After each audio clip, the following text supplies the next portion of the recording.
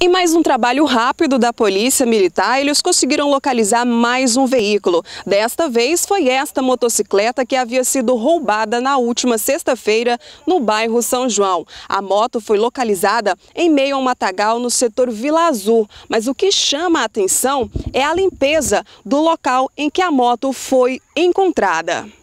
Pessoal das motos aí, o Tático Motos, no patrulhamento, é, fazendo aí uma vistoria aqui, né, aqui nesse local, que são várias é, estradas vicinais aqui, que o acesso só sendo de moto. E nesse, nesse patrulhamento aí, nessa data, consegui localizar esse veículo, que fazendo o levantamento junto dos nossos, nossos registros de ocorrência, constatou-se que, que é um veículo é, de produto de roubo, né?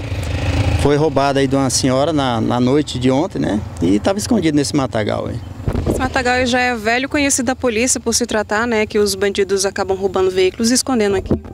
É exatamente, principalmente essas motocicletas, né, aqui por ser uma área de difícil acesso, né, e, então leva a crer que esses meliantes, esses que estão, que roubaram esses veículos, foram encontrados aqui, certamente moram nas proximidades aqui desse local, né, e, e mais uma vez, pela felicidade nossa e da proprietária, né, vai ter seu veículo de volta. A princípio o veículo estava sem chave, né, mas numa busca minuciosa aí no local foi localizado também a chave do veículo, que está sendo conduzido tudo aí apresentar na delegacia de plantão para que a proprietária tenha seu veículo de volta. Com imagens de Murilo Trindade Leide Vieira para o programa Comunidade.